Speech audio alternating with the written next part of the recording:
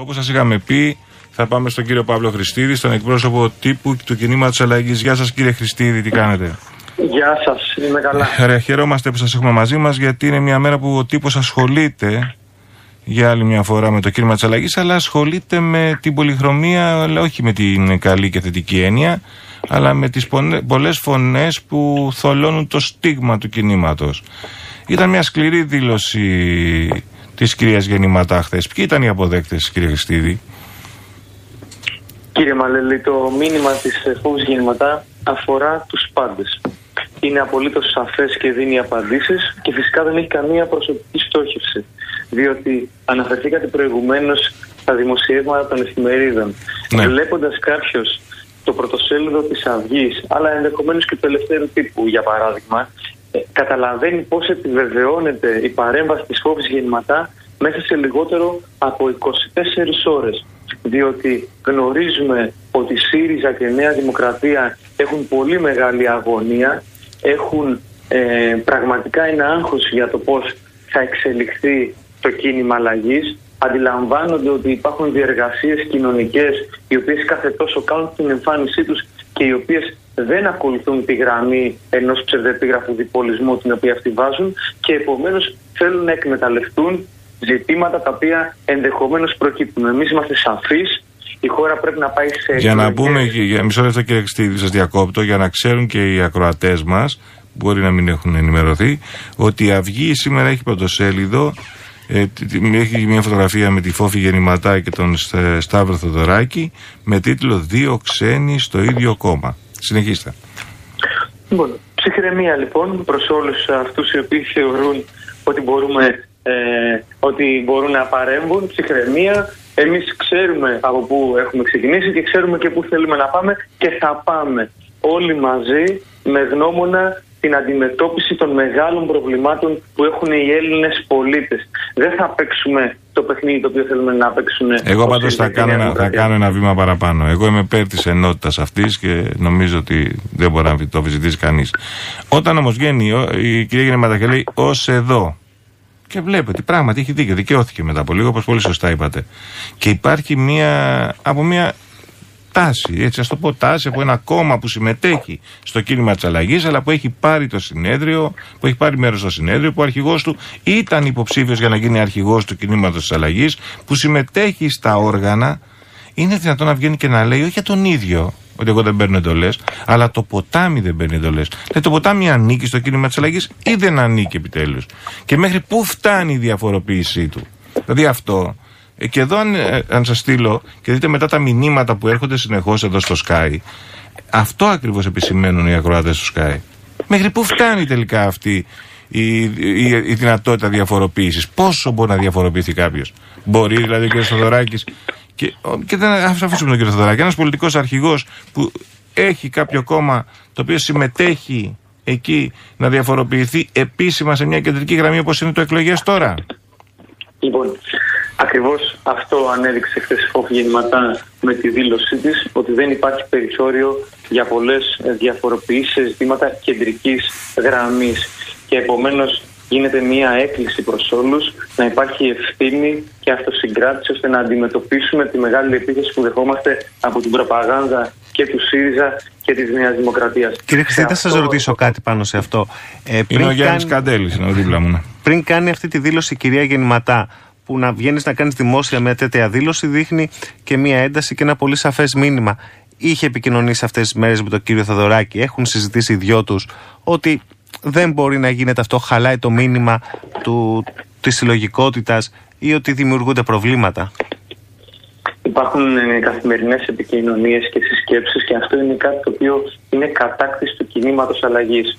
Εμείς ξέρουμε ότι δεν ήμασταν όλοι το ίδιο και ξέρουμε πώς πρέπει να προχωρήσουμε, κύριε Καντέλη. Επομένως, πέραν της επικοινωνίας, σα επαναλαμβάνω ότι κανένας δεν θα μπει στον πειρασμό, κάτι το οποίο είναι μεγάλο, κάτι το οποίο ήταν έκπληξη τον περασμένο Νοέμβριο, να το βάλει σε κίνδυνο. Θα προχωρήσουμε όλοι μαζί και θα αντιμετωπίσουμε όλοι μαζί όλες τις μεγάλες προκλήσεις. Τα προβλήματα που δημιουργούν οι κυβερνήσεις των ΣΥΡΙΖΑ είναι πολύ μεγαλύτερα από αυτά τα οποία ε, έχουμε να συζητήσουμε εμείς μεταξύ μας. Εδώ πέρα έχουμε μια κυβέρνηση, έχουμε τον ΣΥΡΙΖΑ και 15-16 βουλευτές οι οποίοι κατάλαβαν μετά από τρία χρόνια ότι είναι ακροδεξιός.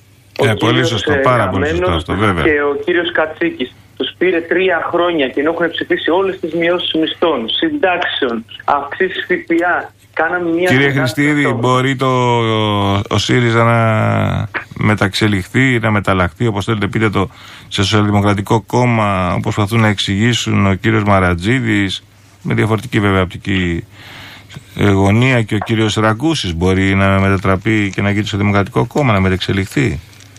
Όπως μεταξελίχθηκε, όπως λένε, το Πασόκ, το ριζοσπαστικό Πασόκ που έγινε μετά στο Δημοκρατικό.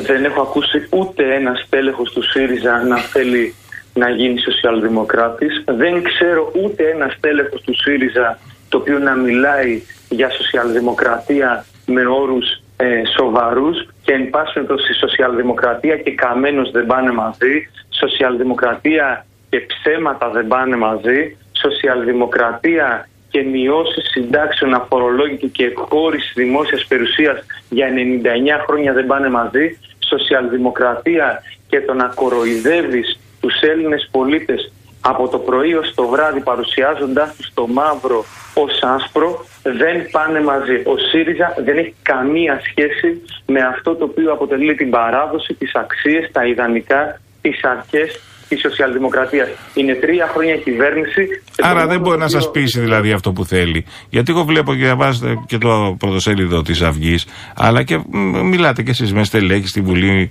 του ΣΥΡΙΖΑ προσπαθούν να κάνουν κάποια ανοίγματα, όμως και εγώ δεν τα βλέπω, βλέπω ότι δεν είναι ειλικρινή. Απλώς είναι ε, τακτικισμοί με σκοπό να κλείσουν τρύπες τους, να φοβήσουν τους ανέλο, να τους πετάξουν έξω. Δηλαδή, πραγματικά και εγώ συμφωνώ ότι ούτε πολιτικά το δείχνουν, αλλά ούτε και σε, σε, σε απόψεις, σε προτάσεις, σε κάτι. Ναι. Ανεξάρτητα από τη συζήτηση η οποία γίνεται ανάμεσα σε κάποια στελέχη στο δημόσιο διάλογο, πρέπει να πάμε και σε επίπεδο κοινωνικής βάσης. Και πηγαίνοντας στην κοινωνική βάση, ξέρετε, οι πολίτες είναι πολύ πιο μπροστά από εμάς. Δεν έχει κερδίσει ούτε ένα μέλος ο ΣΥΡΙΖΑ τα τρία χρόνια που είναι στη διακυβέρνηση. Εμείς κάναμε μια διαδικασία και ήρθαν 212.000 πολίτες και είπαν δημιουργήστε μια παράταξη αυτόνομη η οποία ανατρέπει τη μιζέρια την οποία ζούμε. Σε αυτό έχετε απόλυτο δίκιο.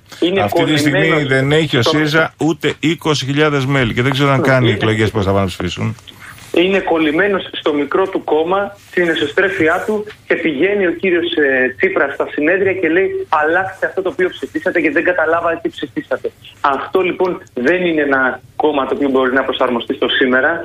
Εμείς ξέρουμε τις προκλήσεις. Δεν λέμε και δεν είπαμε ποτέ ότι έχουμε μπροστά μας μια εύκολη διαδικασία στην οποία θα δημιουργήσουμε μια παράταξη 45% σε ένα βράδυ. Ναι. Και εν πάση περιπτώσει μπορεί να μείνει και αυτό η αναγκαιότητα της εποχής. Αυτό όμως το οποίο θα κάνουμε είναι μια παράταξη με αρχή, μέση και τέλος με ανανέωση, διεύρυνση και ενότητα που ασχολείται με το γεγονός ότι είναι επιλογή αυτής της κυβέρνησης να αυξήσει το ΦΠΑ στα νησιά Αυτό θέλω να πω τώρα. Αυτό, αυτή ήταν η ερώτησή μας. Αυτή ήταν η ερώτησή μου. Γιατί την παρακολούθησα και από κοντά, έκανα, ήμουν εκεί. Στη συνάντηση που έκαναν οι εκπρόσωποι των ε, σωματείων του Βορείου Αιγαίου ε, για την αύξηση του ΦΠΑ από 1η Ιουλίου έρχεται πια και το τελειωτικό χτύπημα νομίζω στα νησιά του Βορειοαιγαίου με, το, με την αύξηση του ΦΠΑ στο 24%. Είδα ότι η κοινοβουλευτική ομάδα του κινήματος αλλαγής είναι έτοιμη να καταθέσει μία πρόταση έτσι για να αποφύγουν και τα νησιά του Βορειοαιγαίου αλλά και πάρα πολλά νησιά, νομίζω είναι 32 36 δεν ξέρω, μαζί με τα μικρά νησιά, τα οποία θα αυξηθεί ο φόρος από 1η Ιουλίου και ετοιμάζεται η κοινοβουλευτική ομάδα του κινήματος αλλαγής να κατεβάσει μια τέτοια πρόταση. Έτσι είναι, κύριε Χριστίδη.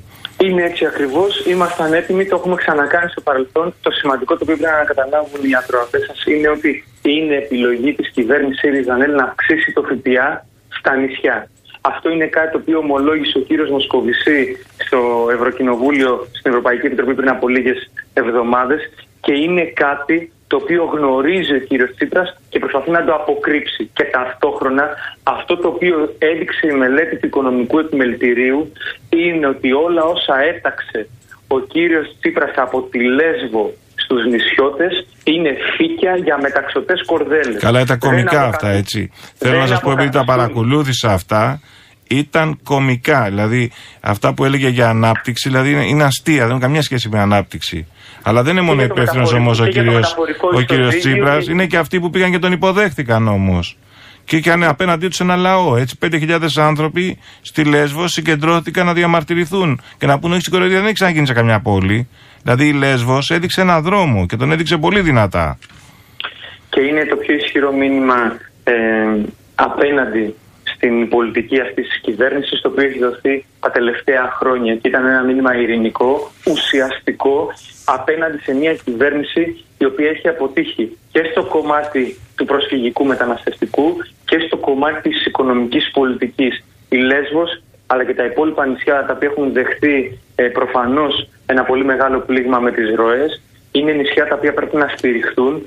Εμείς και στο οικονομικό επίπεδο θα είμαστε εκεί και θα καταθέσουμε στη Βουλή την πρότασή μας. Διότι αυτό πιστεύω. Πάντως και η Νέα Δημοκρατία, έτσι, ο κ. Μητσοτάκης είπε ότι θα καταθέσει μια συνολική πρόταση αναπτυξιακή για τα νησιά του Βορείου Αιγαίου, έτσι.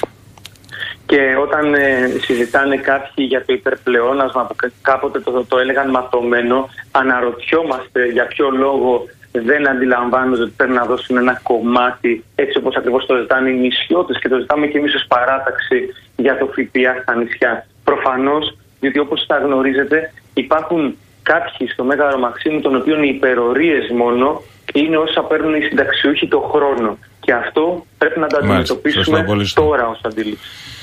Κύριε Ξτή, σας ευχαριστώ πάρα πολύ για την καλοσύνη που είχατε να ενημερώσετε τους ακροατές του ΣΚΑΙ. Να είστε καλά. Καλό μεσημέρι. Καλή συνέχεια.